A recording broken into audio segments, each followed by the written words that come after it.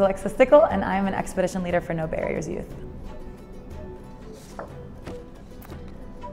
What global issue are you most passionate about? Um, I would say environmental stewardship. I think that encompasses a lot of different themes that are important. Um, my pet project lately has been reducing the use of single-use plastics because they're things that we use for seconds and plastic lasts forever in the environment. Um, I think fomenting a love of nature and wildlife is really, really important as well. Um, and reducing our carbon footprint to the degree, the degree that we can. What's the most bizarre food I've tried while traveling abroad?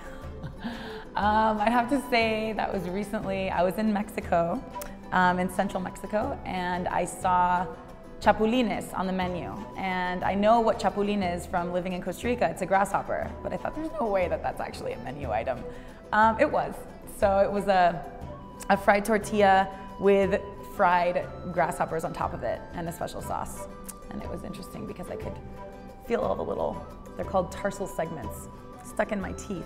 Um, so it was a very uh, intimate experience with an animal that I thought I knew everything about, but I didn't know how it tasted.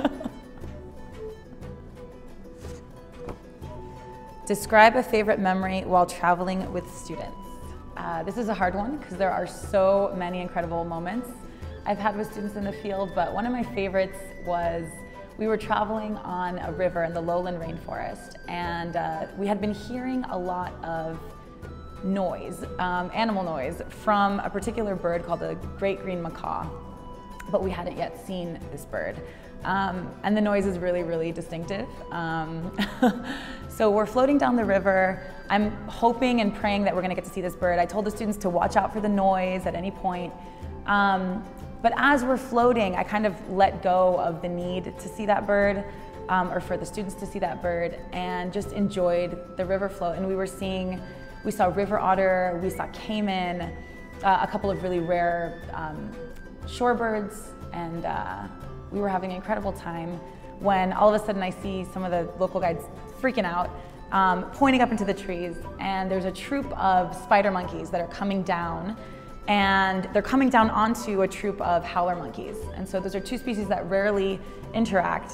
Um, so it was really, really cool to be able to see that interaction and also to be able to see the spider monkeys from an edge. So you could actually see the way that they jumped from upper branches down to lower branches. Um, so it was a really cool behavioral opportunity to, to observe behavior of the animals. Um, and the students were just mesmerized. I was mesmerized. The local guides were mesmerized. Um, and just when I thought the, the day couldn't get any better, we hear like, you know, the great green macaw um, noise. And I couldn't believe it. We all looked up and four great green macaws fly over our heads. Um, it felt like a gift. And it was actually my birthday. I think it was my 28th birthday. Um, and that was for me like a gift from nature, a gift from the universe. Um, and it was a really special moment that I got to share with my students. How do I make an impact in my local and global community? So I like to think that I make an impact on a global scale as an educator. Um, I work with students both on No Barriers youth trips, but also on other types of trips uh, throughout the year. And I'm really passionate about wildlife, nature, um, and a lot of environmental issues. And um, I think that that passion that I have in imparting knowledge about those systems um, can inspire other people to, to care about them as well. I don't think as humans we're really good at protecting things that we are not familiar with or don't have some kind of a personal connection to. Um, so I feel like that's where my, where my role comes in, in, in a global sense. And then in my local community, um, I'm really, I live in San Luis de Monteverde, so I actually live in one of our destinations in Costa Rica. And I'm really active in my local community. I often um, will volunteer to take part in community activities like uh, raising money for the church or for the uh, Development Association through soccer games or selling food. Um, I'll often volunteer for trail maintenance as well. We have um, a series of trails that people use recreationally in our community. Um, I'm also a member of the board of directors of a couple local organizations and um, I'm always tutoring in math or English as needed for my neighbors.